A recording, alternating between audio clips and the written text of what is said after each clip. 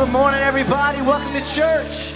Come on, today we're going to sing loud. We're going to exalt the name of Jesus. Come on, this is a newer song. This is Living Now. Come on, let's sing it with faith. Every word that we say today. All right, here we go.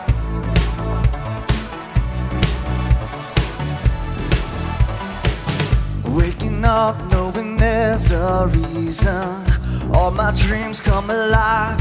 Life is for living. With you, I made my decision. You fill me up, fill my eyes with wonder. Forever young in your love, this freedom's untainted. With you, no moment is wasted. The sun now bursting through the clouds, black and white, to color all around. All is new in the Savior I am found. Come on, church, sing it. This is living now.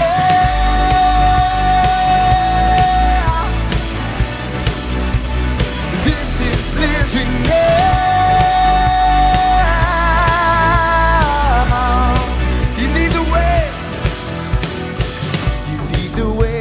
You're right beside me. In your love, I'm complete. It's nothing like living with you.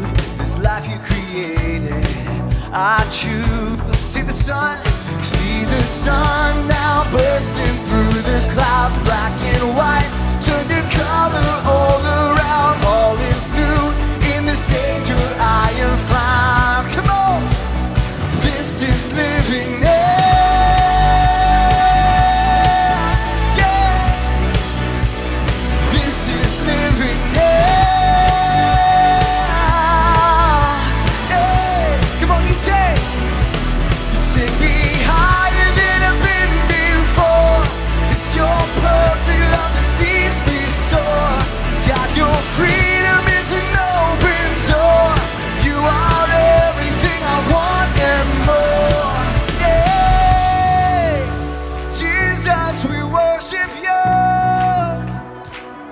see the sun.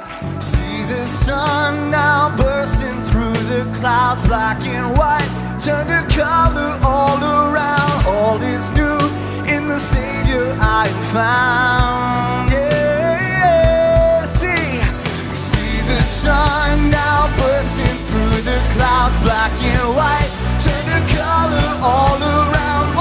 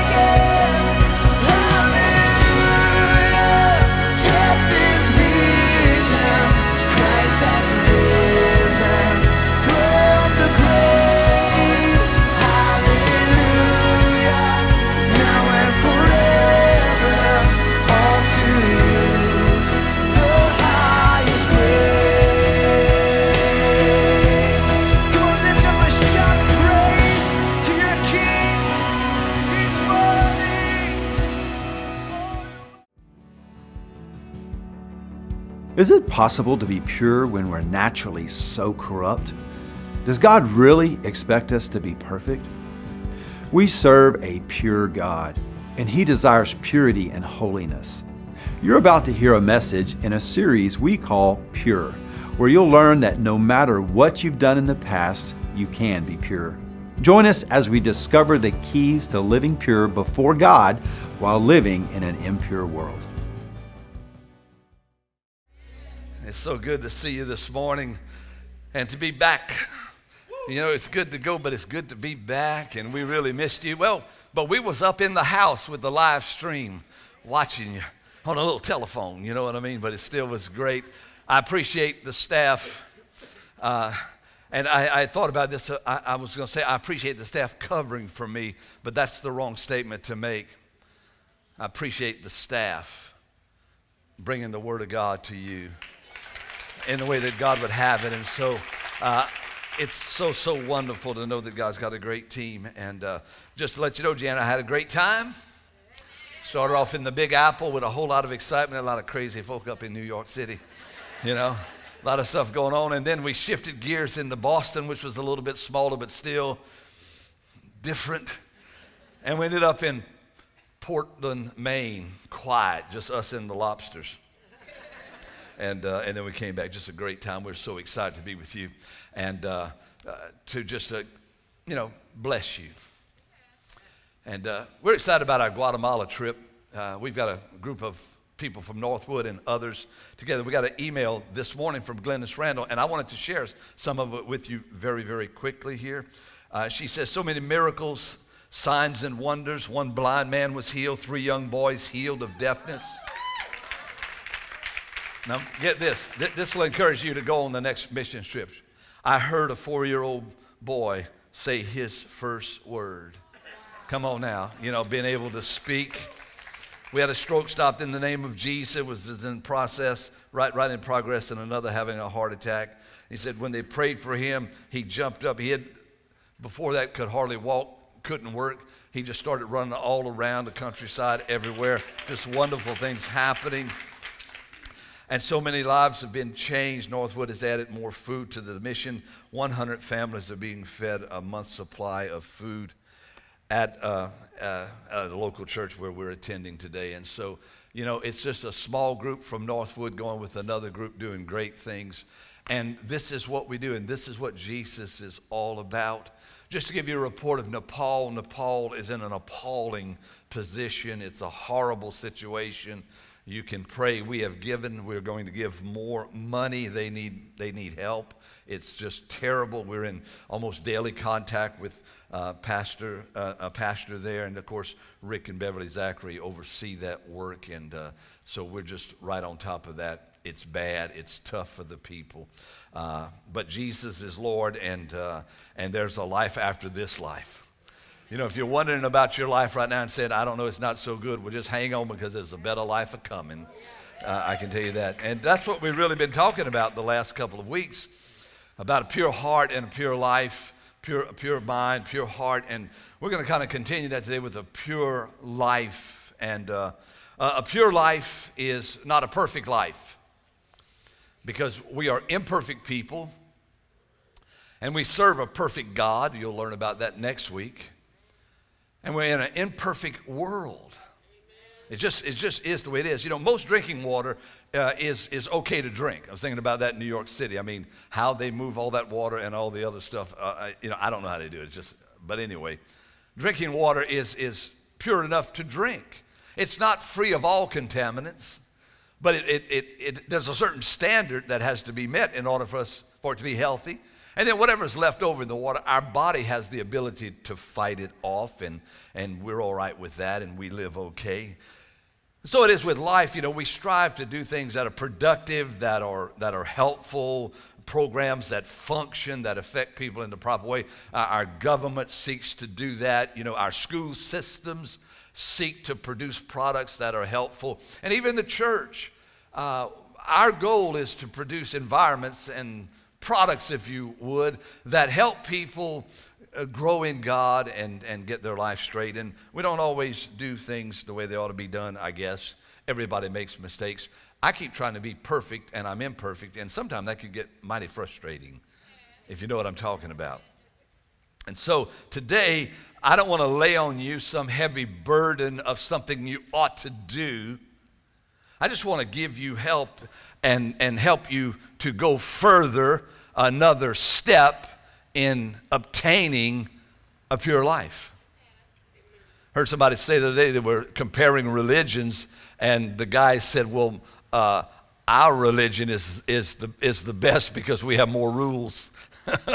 And that's sometimes how we look at things. Uh, whatever religion has the most rules to keep, that's probably the best one, but it's not always that way. So, the pure heart that you were uh, taught week before last, the, the pure mind that you were taught last week, those two culminate into a pure life. And uh, I wrote this down last night late. I said, What would it be like if people led pure lives? What would it be like? And, and in Psalm 119, verse 9, the, the Bible asks a question. It says, How can a young person stay pure? And I might just kind of expand that and just say, How can a person stay pure? And then it answers the question by saying, By obeying the word. But I just kind of want to zero in on how can a person stay pure? What about this pure life? And, uh, and, and so I'm going to give you some, I'm just going to talk to you about what a pure life could look like. And let you know right off, can I go all the way to the end of the message and say it's attainable? It can really, really happen. Think about a pure life is that a pure life is a principled life. And, and principles are not something that you get instantly.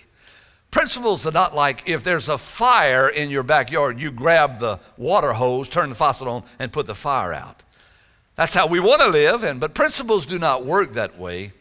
Principles are built over a period of time. And that's why when situations arise, how we respond shows how principled we are. This week in your one year Bible, I think it was Tuesday morning, you read about King Saul, the king of Israel, was at a place. He was getting ready to go to battle with the Philistines, the enemies of God. But he was having to wait on the prophet Samuel to come and to offer a sacrifice before he went to battle. And Samuel was delayed for whatever reason. And because of that, Saul got edgy and his troops began to scatter. He saw the enemy, he saw his troops scattering, and Samuel wasn't coming to offer the sacrifice. So he jumped in and he offered the sacrifice himself, which the king was not authorized to do. The prophet was to offer the sacrifice, the king was to fight wars and build cities. And so he offered the sacrifice. And as soon as he was doing that, Samuel showed up and asked him the question, What are you doing? He said, Well, they were my men were running away, the enemy's there, you wasn't coming. And so I did that. And Samuel said, You know, you've done a really foolish thing. And because of that, God is going to take the kingdom away from you. What's the, what's the problem? What's the point of the story? The point is that if he would have lived a principled life rather than an emotional or circumstantial life, rather than reacting, knee jerk reaction to something, things would have been totally different. And things can be totally different in our life. A pure life is a principled life. You see, our, our, our motives uh, are regulated and our decisions are regulated by principle. So if you're in a place right now, this morning, right now, where there is uh, the opportunity for you to react to whatever's going on in your life, whether it's in a relationship, whatever it is, I would say stop right where you are and examine your principles to see whether or not you're going to make your decision based on that or by some emotions. And I will tell you this emotional decisions always cost you down the line. They always do. And so rather than living by regret, let's live by wisdom and see what happens. Pure life is a principled life, and the pure life is also a very, very transparent life, a life that you can see straight through. It's clean, it's clear. There are no hidden agendas, there are no, no closets, there are no trap doors. There, there's not a closet to hide a skeleton in. I think we've got too many closets, too many places where we can allow things to happen that way. And th- there's no smoke, there's no mirrors, there's, there, there's no distortion. It's absolutely pure, no deception. The thing I love about children, little children, is that they're so transparent. You ask them a question, you get the truth right off. I mean, matter of fact, I remember our children, yours are the same, they'll just say anything. I mean, when they're in a store and they're behind somebody, and, and they're always short, and so they see things from a different vantage point, they call it like it is. What they see, they say. Makes you embarrassed, but they just don't think their life is totally transparent. I mean, you know, if, if they got a problem, they got a problem. You know, it's not like they're trying to hide anything, except sometimes when you're potty training they, and they get to a certain age, they start to hide behind the door, knowing that they've created a problem that they don't want to deal with at that particular moment, but they're very, very transparent. What did you do today? Well, I did this, I did that, I did this, I did that, you know, and they just tell it like it is. In Titus chapter 1, verse 15, it says, Everything is pure to those whose hearts are pure.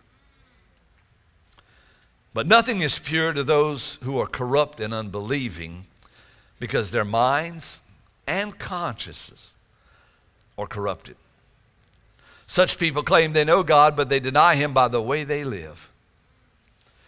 They are detestable and disobedient, worthless for doing anything good. So, man, when you're pure, everything's pure. When you're pure, sometimes you just don't get the nasty joke at the job. You just don't get it. You know, I mean, I grew up, we, we were all nasty, man. You know, I mean, you know, we would just cuss and lie and cheat and steal and tell dirty jokes. And, and, and sometimes, uh, you know, I mean, I have a memory, but sometimes I don't get a dirty joke. I'll hear something and I, it, I don't get it, and I'm so happy when I find out I didn't get it. It's like there's a little bit of purity right there. Thank you, Lord, for that little crumb of purity there. Come on now. It's like when you're wrong, you simply need to admit you're wrong. Did you know it's okay to be wrong? Do you know that, that the church needs to be a family where people can be wrong and not be executed? D- dream with me for a moment.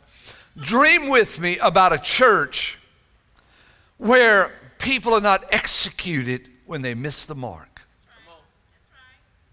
Now, I have to clarify because we're religious people. And we're saying, yeah, but what about? The what about is that you know already that sinning against God is not acceptable. You also know that in your imperfection you miss the mark. And it's in the missing of the mark that the church has to be a family that rather than executing those who make one sidestep, they're people who bring life and healing and restoration. Because people are coming into the church now in all three of our locations, and not only this church, all over the United States and the world. Their lives are beat up, torn up for various reasons, and they don't think like church people think and they don't live like church people live. And so, somehow or another, we have to open our arms at least as wide as Jesus and say, Come on in. And then trust that the Holy Spirit will do His work and that they will respond to the Holy Spirit's work. Because when a person responds to the Holy Spirit's work, purity takes place, transparency takes place, and I tell you another thing takes place. This pure life becomes an honest life. In the practical side of it, it becomes such an honest life that we start paying our bills.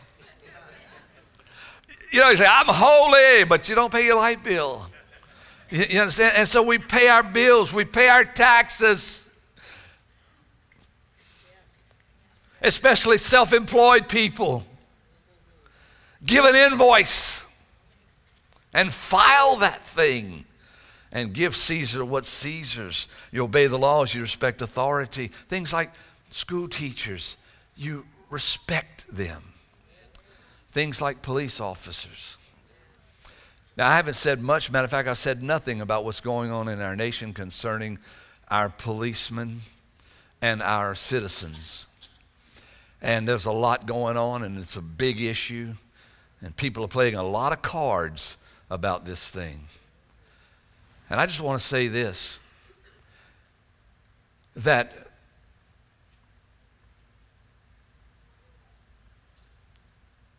everyone is imperfect. And if you are in bookkeeping and you make a mistake, you backspace on your computer and you retype a number. When you're in the inner city and guns are being fired and someone gets killed, you can't backspace.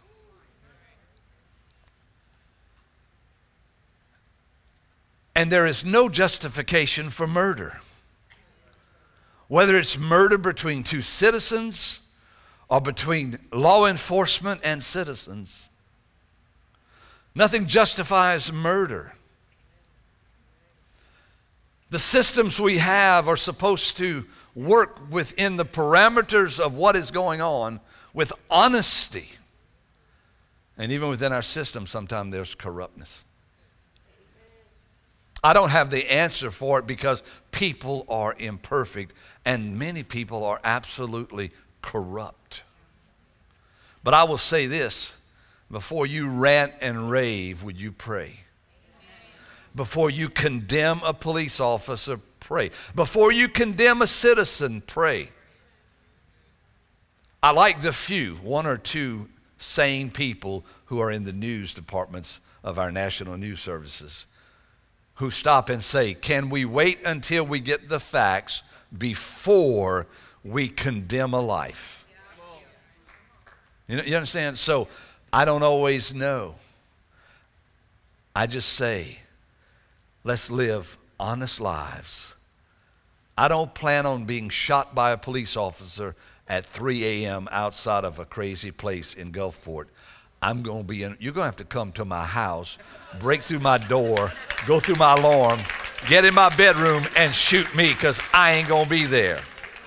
And I could, I could go on and on about this, but you understand, I'm trying to bring balance and peace, and let's act like Christians, people who know God and understand that this world is sinking. Quit trying to straighten all the pictures out on the Titanic. And let's get some people in some lifeboats. Amen? Amen? Okay. And I'm sure I didn't do the best job on that, and I'm sure some of you have greater and stronger opinions, and I may even hear from you. And uh, next time we have this horrible situation, you can come up here and try to do a better job than I did. Let's quit killing each other. Let's shed a little love. Come on now. Let's do what's right. And let's do unto others as we would have them do unto us. And let's love God and love people. And let's, let's live a life, an honest life in every situation. A pure life. It's a servant's life. You know, sometimes serving gets to be tough. Sometimes when you only serve, you feel like maybe you're on the bottom, but Jesus says you're on the top. You see, you can serve until there's hardly anything left. You feel like, oh, wow, I need to be served a while. You know, I don't know about you, but I don't, I don't like to be served that much. I mean, at a restaurant, I can get up and get my own ketchup. I'm just that way. I have a hard time. Some of these hotels we stayed in, I mean, they like want to do everything for you. They have a motive, of course. It's called a tip. But it's like, I can carry my bag to my room, it's on rollers. But generous people are servants, and they always have others in mind. That's how we test how pure our heart is, is where are we motivated? Are we motivated to where it's something that we're going to be lifted up in ourselves? Is it good for me or is it good for you? Which do I go to first? What's good for me or what's good for you? Can you imagine living a life to where you always go to other people? It's like, I see the hurt there. I see the pain there. I see the need there. I see the situation there. I want to help there. I'm going to help this person. Some people would think that's such a small life. Jesus says it's a big life. You know, the Bible teaches us that if you water somebody else's life, you will be watered. Jesus said, if you give, it'll be given to you. Did you know that the Bible teaches us that if we ask, we will receive if we ask with proper motives? Motives, I mean, that's a, that, that's a huge thing in this pure life. What's motivating you? Man, uh, you know, to, to have a life where there's no ulterior motives, to where you're just like, hey, this is who I am and this is how I operate.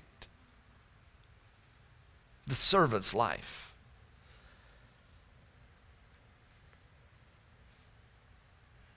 You start putting all these things together, they, they paint this beautiful picture.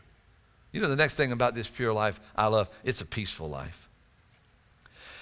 You want to know how to have peace in your life? Watch this. You will never get caught if you're living pure. You, you will never have to worry about an affair, stealing, cheating, slanting the truth, slandering, misquoting, taking up offense, lying, deceiving, judging, fussing, fighting, hyper opinionated, political, ambitious, jealous, envious, insecure, or paranoid. If you live a pure life, it's a peaceful life. One of our pastors said several years ago, and a man started coming to the church and uh, he, he, he was coming to church one Sunday morning. He drove up and, and, and, and, and he didn't stay in church. And, and so the pastor noticed he there. So the next week he said, Hey, bro, I noticed that you, you weren't. Uh, you, you weren't in church. What, you all right? You doing okay? He said, Oh, Pastor. He said, I drove up last Sunday. And what had happened, one of, one, one of the guys in the church is the police officer. And so he was on duty, but he just swung by the church and just swung in and parked his police car right out front and came in telling everybody, hi, I got a cup of coffee, you know. And he said, I, I drove up to church. He said, and I got out the car and I started walking towards the building. And he said, all of a sudden, I saw that Popo was there. I didn't know, but that's the slang, I guess, for police officers. I don't know, but he said, I saw him there. I saw the car there. And he said, I had had a few drinks. He said, so I couldn't go in there. I got in my car and I took off and I ran home and I got in my house and closed the door. What a way to live, man. I mean, come on. But you know what? If you don't have anything to hide, you're not going to hide. Isn't that right? If the police drive up to your home this afternoon, how do you feel? If you get, the, I tell you, if you run out the back door, you hide something. if you run in the bathroom and you flush the toilet without using it, you're probably hiding something. You know what I'm talking about.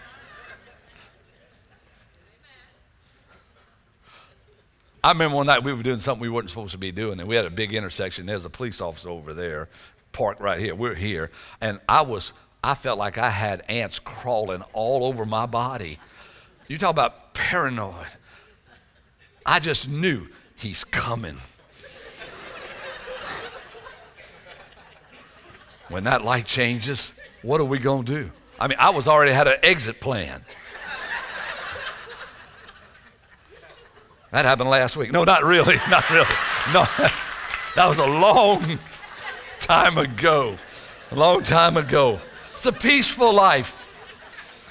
This pure life is a peaceful life, man. Come on, let's get some peace up in the house. No purity, though, no peace. One more thing. You want one more about this pure life? This pure life, it is a powerful and it is a fearless life. It's powerful and it's fearless when you're pure. Something about purity, pure gold. Something about it. You, you can tell pure gold. Did you know that pure gold jewelry is not as shiny as fake gold jewelry? If you bought your wife something, hey, wise, and that thing is so shiny, hey, you, he bought you junk. he bought you some junk.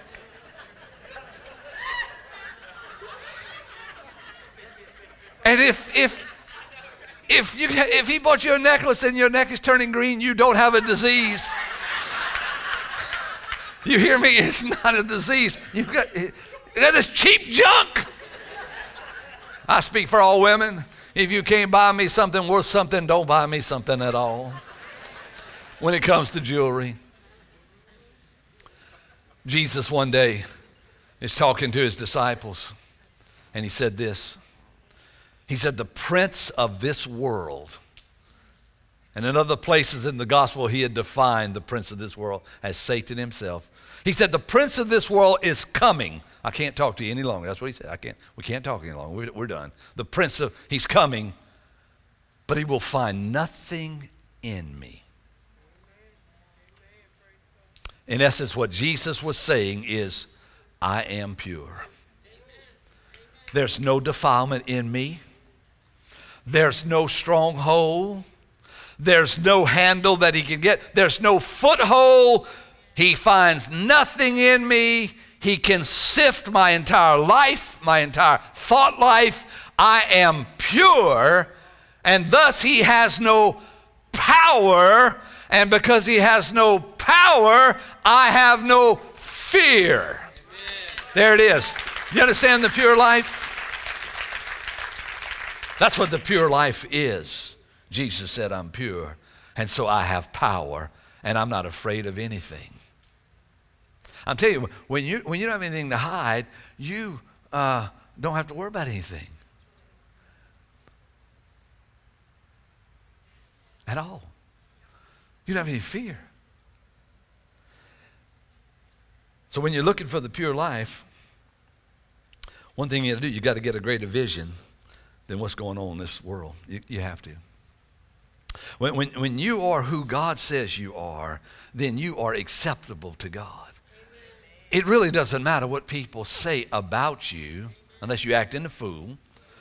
But if you got a pure life, it doesn't matter what people are saying about you because that's not the, the, the, point. The point is, what does God say about you? And when you agree with what God says about you, you are everything God intended you to be. Because being what God intended you to be is not all made up by what you do, but by who you are.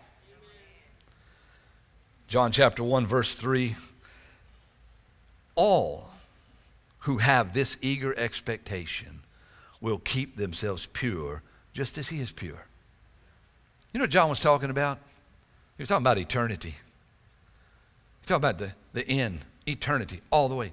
When you have a hope that you will see Jesus, when you understand, I mean, when you really get into it, then you start keeping yourself straight.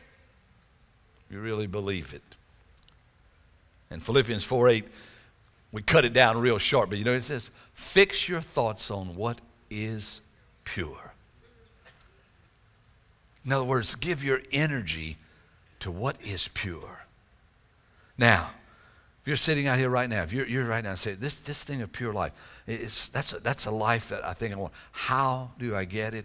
How is it going to happen in my own personal life? Well, I, I want to tell you, uh, and I'm going to preface the, the end of this with this statement. A pure life does not guarantee you a life void of much trouble and hardship. I have taught you, some of you, for over 25 years, that if you think the Christian life is easy street and that everything goes right just because you follow God, you're mistaken. Embrace the trouble. Embrace the problems that life brings, the challenges, because some people experience more challenges than other people. It is just the way it is. I have not figured it out. Some countries suffer more than other countries, some businesses suffer more than other businesses, and some families suffer more than other families. But if we'll keep our eyes on Jesus, everything will be all right because pure living has absolutely nothing to do with what you will get out of it as much as it being God's best for you. Now, two ways this thing happens. Purifying takes place in two ways. Number one, God purifies. God does that. He disciplines, He uses fiery trials. He works on our life. Malachi chapter 3, verse 2 says, For you will be like a blazing fire that refines metal, or like a strong soap that bleaches clothes. He will sit like a refiner of silver, burning away the dross. God's working in your life to purify your life. Get your eyes off of the trial and onto the Lord. Let the Lord work. He's doing something that's going to be great. He uses trials. He uses discipline. If you're if you're wrong and you don't repent, he removes his presence from you. That's why David said in Psalm 51 after he committed the adulterous affair with Bathsheba and murdered her husband, he said, "Lord, above everything, please don't take your Holy Spirit from me." Please don't take your breath. He knew that the way that God disciplines is He removes His presence. He steps back from your life and removes His presence. God purifies. James tells us to count it joy when trials come. God uses circumstances, He uses situations, He uses people. He's haunting your life. He's more interested in your future, your eternity, than right now. He will use things to sharpen you, things that hurt you, things that don't make any sense. He'll, he'll let people do you wrong so that He can do you right. He will allow people to hurt you so that He can help you. And we don't like to say that because we think it's all easy streaking like a grease rail, but it's not. It really isn't. He purifies that way. That's what He uses. And then, of course, number two is that we purify. Think about the human body as this when something's wrong up in here, the human body's going to do something about it. You know what I'm talking about? It's going to get rid of the problem inside, up or down or sideways. You know that for a fact. Sometimes you wonder, why is my nose running so much? Because the histamines, it's, there's something up in your cavities that's got to get rid of it. The way the body does is flush it out, man. That's what happens. And, and you know what happens when your little boy is feeling so bad and then he throws up, and next thing you know, he's out in the backyard playing. Because his body got rid of he was purged of that thing. And we are the agent of purging in our life also in 2 Corinthians chapter 7 verse 1, Paul in verse in chapter 6 was telling them, "Hey Corinthian church, you mixed up with some people, you doing some things that are not what God wants you to do. You need to stop it. You need to come out from among those kinds of people. You need to be separate, and if you'll do that, I'll be your God and you'll be my people, and we'll get along just fine, and I promise you that I'll take care of you." And then in chapter 7 verse 1, he says, "Because of those promises, let us, what does he say? He says, because of that, we want to go ahead and cleanse ourselves from everything that can defile our body or our spirit. So you have an active part in the purification process. And God will use all sorts of outside influences to do that. He'll use your parents, He'll use your teachers, He'll use the law, He'll use pastors preaching the gospel to you and loving you, small groups, you name it. God has a myriad of instruments available to Him to aid you in living the pure life. But you have to desire it. You got to want it. I figured it out, folks. Took me a long time. I'm slow. If people don't want something, they never get it. It's just the way it is, no matter what it is. You have to have a desire. Then you, you want to you, you wanna pursue it. You got to put forth some energy and some effort pursuing that thing. Like the deer running, he just pursues the water because he's so thirsty. You know what I'm saying? You got to pursue it. You do that by the word of God. You do that by, you know, oh God, we know how to pursue God, most of us. And if you don't, just sit on the edge of your bed and say, God, I want to pursue you. Teach me. And believe me, God will begin to teach you and instruct you on how to pursue Him. He wants to be pursued, He likes when you chase Him. And did you know this? That every person in this room can possess a pure life. Let me tell you something, folks. We live in a nasty world. It's pathetic. It's already doomed. This world is going to burn up in fire sooner or later. We are being prepared for eternity. And God is coming back for a pure bride. And He will have it. I want to be a part of it. I do. And so, you know, when we, when we do this, when we possess and, and when we purify, we, we repent, we, we, we just say, Lord, you know, I've been involved in some things or whatever. It is. I, I don't even want to even give a list of anything. Our heart needs to pump for God. And when our heart pumps for God and our spirit and our conscience is alive, the Holy Spirit puts his finger on whatever he wants to adjust in your life. It could be good things or bad things. Some good things are bad for you if God doesn't want you involved in that good thing. But no man can tell you that. That's what's so glorious about what we're involved in. God is involved in it. And he goes where no man can go. And he doesn't use a list of rules and regulations. He uses his voice to speak to you. Church, I want to pray with you right now. I want to pray that this word that we just heard would be active and alive. Come on, right there, right where you're sitting. If you know God and you're, you're there, just say, Father, I just, you know, examine my life burn up every impurity. Father, would you burn up every impurity in our life? Would you prick our conscience? Give us wisdom as we seek you. Father, prepare your church for your coming. May we live every day with our fire burning bright, ready to see you come. Now let's all bow our heads together, everybody in the place. And I want to talk just briefly for you who maybe are in this room and you say, you know what? I, I, don't, I don't know Jesus. I'm not sure about all. I, I, I, I'm not completely convinced yet. I, I don't know if I'm one with God. I don't know if my heart is right, but I want it right. I'm just going to ask you not to leave this room until your heart is right.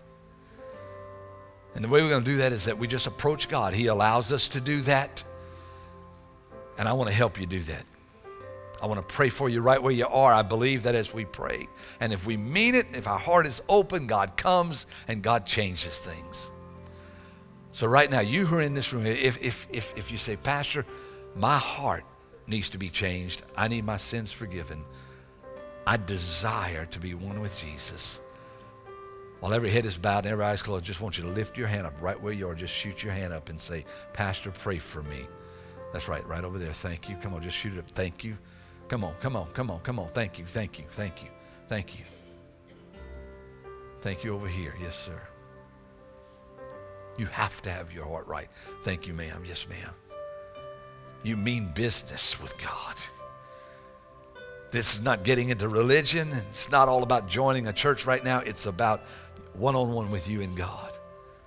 Anybody else in this room, if you haven't raised your hand, shoot it up and say, Pastor, I want to pray. I want that.